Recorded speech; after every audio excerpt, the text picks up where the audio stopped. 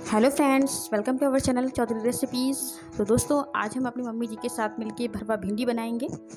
तो अगर आपको भरवा भिंडी बनानी नहीं आती है तो इस वीडियो को शुरू से आखिर तक ज़रूर देखिएगा। आपको बहुत अच्छी कुरकुरी भरवा भिंडी बनानी आ जाएगी। तो चलिए वीडियो शुरू करते हैं। तो उसके लिए देखिए, हमने ढाई ग्राम भिंडी ली है। कि ये ताज़ी ताज़ी हरी हरी भिंडी है। बहुत बड़ी भी ना हो और बहुत छोटी ना हो मीडियम साइज़ भिंडी ले लीजिए।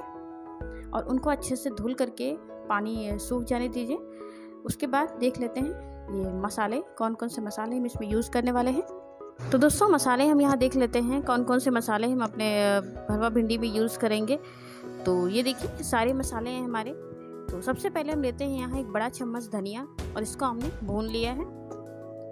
तो धनिया के बाद ये हमारा सरसों दाना, जिसको हमने भून करके इसका छिलका उतार लिया है। हाथ से मसल के छिलका उतर जाएगा, इससे टेस्ट अच्छा आता है। नमक स्वाद के अनुसार एक डेढ़ चम्मच आप ले सकते हैं। फिर ये एक डेढ़ चम्मच आप हल्दी ले लीजिए। और एक छोटा चम्मच मेथी, एक छोटा चम्मच मगरैल और एक छोटा चम्मच सौंफ। ये तीन चीज़ें हमने एक ही मिक्स करके भून ली हैं, अब इनको पीस लेंगे। अपने मेथी, मगरैल, सौंफ और धनिया को और सरसों को पीस करके पेस्ट बना करके तैयार कर लेंगे। तो इस तरह से तो ये देखिए, मसाले हमने हाथ से मिक्स किए हैं। तेल डाल के मसाले मिक्स करते हैं। अगर आप चाहें तो चम्मच का भी यूज़ कर सकते हैं। तो इस तरह से मसाले मिक्स कर लेंगे हम। फिर अपनी भिंडी भरना शुरू करते हैं। तो एक एक दो दो करके भिंडी पहले इस तरह से हाथ में लेते हैं और फाड़ते हैं। फाड़ करके मसाले अच्छे से भर देते हैं उसके अंदर। ये देखिए, मसाला थोड़ा दबा दबा के भिंडी के अंदर भर दीजिए। क्योंकि जब पकती है भिंडी, तब भी थोड़ा बहुत मसाला बाहर निकलता है तो सारा निकल ना जाए। तो अच्छे से दबा करके भर दीजिए। ये देखिए बराबर मसाला पूरे में भर चुका है।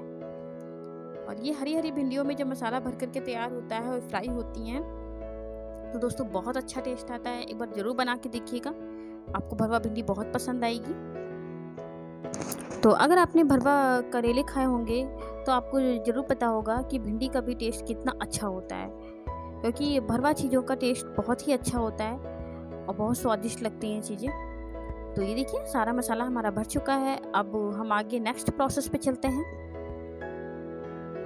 तो उसके लिए हम अपनी कढ़ाई लेंगे और कढ़ाई में तेल गर्म करेंगे।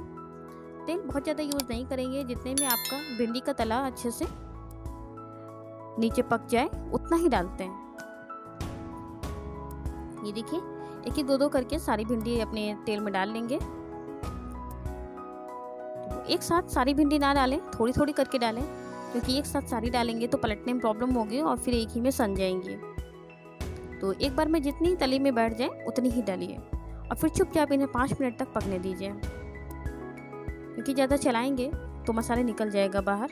ये देखिए और पाँच मिनट के बाद धीमे से पलट दीजिए और दूसरा परत भी पकने दीजिए। पाँच मिनट एक परत पे और पाँच मिनट दूसरे परत पे।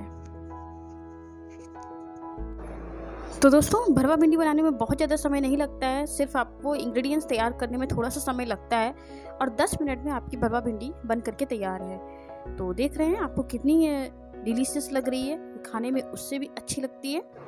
तो इस तरह से आप ज़रूर बनाइएगा एक बार भरवा भिंडी और हमें कमेंट करके बताइएगा आपकी भरवा भिंडी कैसी बनी।